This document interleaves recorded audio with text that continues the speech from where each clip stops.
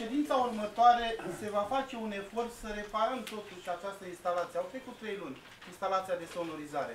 Chiar nu... Mi se pare corect după atâta timp să nu avem instalație de sonorizare. Nu avem buget. Nu să avem bani. Nu avem buget. Avem noi electrician la Suvat. Și dacă să facă, noi și cadrul Am primit, am solicitat în cadrul Consiliului Județean o informare legată de SCI cu Aqua. E prezent Îi aici. mulțumesc domnului director Nuțu că am, am primit și am primit cu toții această informare, care pe mine mă sperie. Și cred că vă sperie și pe dumneavoastră, domnul președinte, ca să fiu mai plastic, dacă extragem din Dunăre 1000 de metri cub de apă, 50%, adică 500 de metri cub să pierd.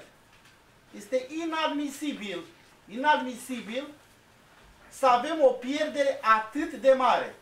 Și unde se găsește pierderea? Că bănuiesc că această pierdere se găsește în prețul Domnul final director al Marcel, apei. vă rog frumos, veniți lângă mine aici, că e vorba de a discuta astăzi. Poate nu numai o să naște nu o singură întrebare, poate să mai naște și alte întrebări. Categoric În ar această trebui. discuție. Vă rog frumos, veniți lângă mine. Deci această, această pierdere, care după părerea mea este enormă, este inadmisibilă și nu se justifică, domnule președinte și stimați colegi. În condițiile în care Călărașul, municipiul Călăraș a beneficiat de două programe importante, adică programe care au schimbat conductele de apă din, județ, din municipiul Călăraș, Santidu și cele 8.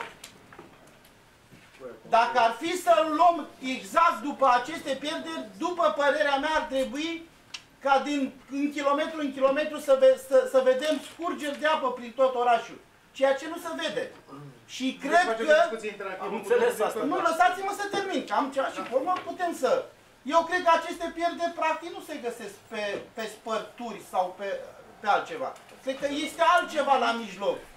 Că nu se poate încă o dată dintr-o mie de metri cub, 500 de metri cub să piardă și să găsească în prețul final al apei pe care îl plătim noi. În aceste condiții legate de lucrul acesta, cred că cei care au fost, că dacă stăm să ne mergem în urmă, acum patru ani, tot cam aceleași pierderi au fost. Și atunci, cum și-a îndeplinit vechea conducere acel contract de management? Ca să nu mai vorbim de niște premii extrem de importante care s-au luat pe seama pierderilor. Și pentru acest lucru propun să facem o analiză, să găsim ceva în cadrul Consiliului Județean, că lucrurile, după părerea mea, nu trebuie lăsate așa. Că dacă acum avem 50%, peste 4 ani avem iar 50%, nu e nicio problemă. Plătim noi. Nu este în regulă. Și atunci propun să se facă o analiză, să vedem ce a făcut vechea conducere în cei 4 ani de zile. Cum și-au permis să ia asemenea prime, da? În condițiile în care s-au mers numai pe, au mers numai pe pierdere. Și să găsim o soluție în cadrul Consiliului Județean, să facem o, nu știu, nu mă pricep la lucrul ăsta, să dați o dispoziție de verificare uh, sau să luăm o hotărâre de Consiliu în acest sens de verificare a acestei societăți, cel puțin pe patru ani de, în urmă. Avem A doua reprezentanți- problemă. Avem reprezentanții Consiliului Județean, uh, în adunarea generală. Deci este un fapt real. A doua problemă. Nu este corect și va trebui Nu să vreți luăm puneți o întrebare? hotărâre. Nu vreți să-i puneți întrebare, domnului director, ca Nu, să... ce vreau să spun acum pe urmă. Ah, bine, ok. O a doua problemă care e foarte importantă și cred că va trebui să luăm noi o hotărâre, domnul președinte, este legat de aceste pierderi care se găsesc la nivelul de, bă, să zic așa, subsoluri de blocuri și care sunt, îmi cer scuze, o vorbă mai, mai dură, băgate pe cât nouă cetățenilor, dar nu oricum.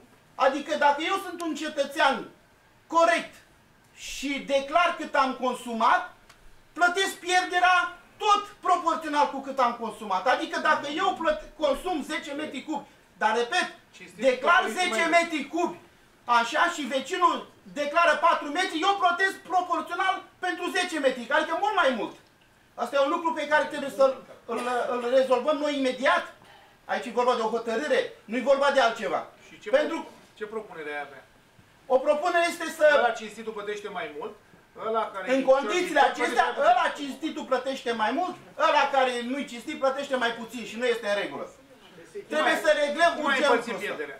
Ai împărțit-o pe apartamente? Cum ai găsit În o condiții, în condiții normale, dacă este o pierdere comună, ar trebui împărțită în, pro, în mod egal la toți locatarii.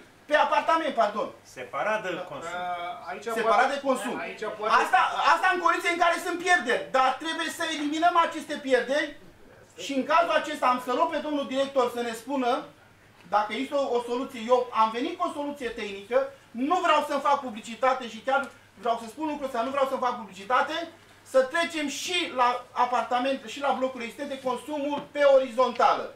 Adică pentru cei care nu știu lucrul acesta și nu este un uh, fapt rău, uh, este că lângă contorul principal să se monteze contoare pentru fiecare apartament și de acolo să meargă fiecare la apartamentul lui.